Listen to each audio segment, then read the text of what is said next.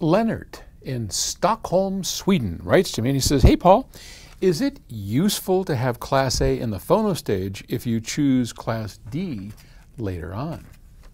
Huh. I think the answer is yes, it's fine. I think people get kind of confused, and all these classes of amplifiers can be daunting and confusing. We've got Class A, we've got Class AB, we've got Class D, we've got Class H. What else is there? I mean, there's all these classes of amplifiers. And in one sense, it doesn't really matter because let's just say if we if we view a system as boxes that have a sound to them, then the technology inside as to how it got there, how it made that sound doesn't really matter.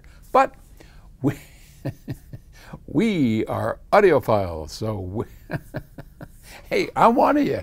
I got to know if, What's the first thing you do? What's the first thing I do when I get a piece of equipment? I take the damn top cover off. Very first thing I do. I take the top cover off. Ooh, see what's inside. Because I'm a nerd, right? I'm an audiophile nerd. I, I own up to it, kind of like being part of AA, right?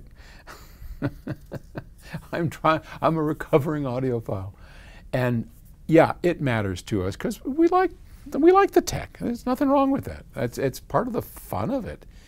And so we, we like to think that Class D has a sound to it and Class A has a sound to it. And in some ways that is correct, but it's not always correct.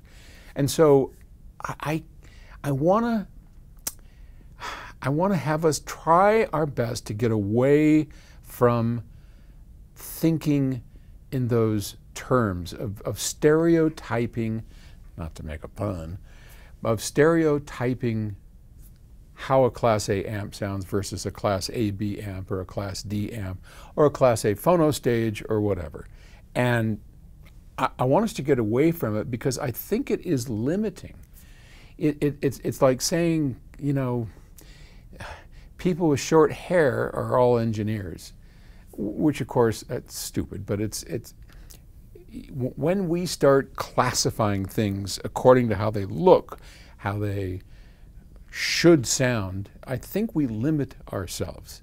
So this amplifier is a Class D amplifier with a Class A stage in front.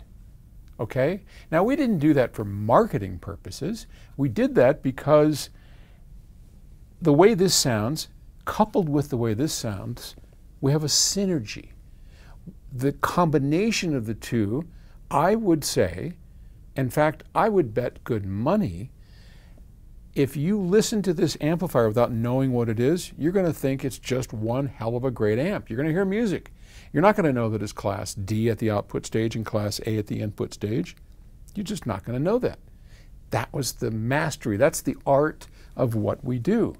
So we take care of the synergy and judge it on the whole. So I wouldn't go in that direction that you're leaning. And that's why. Okay. Thanks. I'll talk to you later. Bye.